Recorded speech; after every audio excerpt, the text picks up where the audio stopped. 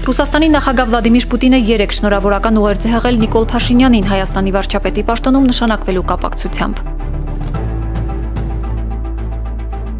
Ազգային ժողովի նիստին քաղաքացիական պայմանագիր խմբակցության падգամավոր Ռուբեն Ռուբինյանն ընտրվել է խորհրդարանի նախագահի տեղակալ։ Մյուս տեխնացուն Հակոբ Արշակյանն է Հայաստան խմբակցությունն առաջադրել է Իշխան Սաղաթելյանի տեխնացությունը։ Նախագահ Արմեն Սարգսյանի հրամանագրով Մհեր Գրիգորյանը նշանակվել է փոխվարչապետ, Կարեն Անդրեասյանը արդարադատության, Տիգրան Խաչատրյանը ֆինանսների նախարար։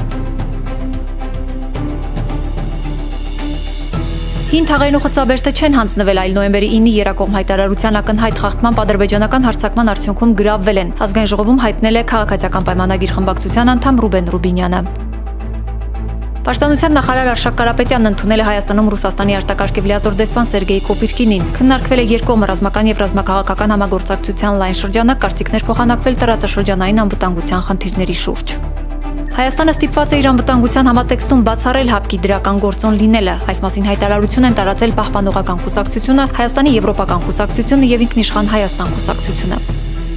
Հայաստանի պաշտպանության նախարարության մարտական դիրքի ուղղությամբ 2021 թվականի հուլիսի 31-ին ժամը 18:30-ի սահմաններում հակառակորդի կողմից գրակոծներ արձակելու, ավտոմեքենան վնասելու դեպքի արդիվ հարուցվել է քրեական գործ կատարվում է նախաքննություն։ Մեղրի Մաքսակետի պաշտոնյաների արերևույթ կաշառակերության եւ չարաշահումների գործի նախաքննությունն ավարտվել է։ Գործով 7 անձի մեղադրանքներ են առաջադրվել նրանցից երկուսի նկատմամբ որպես խափանման միջոց ընտրվել կալանավորումը։ Դատարանը դատավոր Աննա Դանիբեկյանի նախագահությամբ մեկ շաբաթով հետաձգել է երկրորդ նախագահ Ռոբերտ Քոչարյանի եւ նախկին փոխվարչապետ Արմեն Գևորգյանի գործով քննությունը։ Վերջինս ընտրվել է ազգային ժողովի падգամավոր եւ այժմ մասնակցում է խորհրդարանի աշխատանքներին։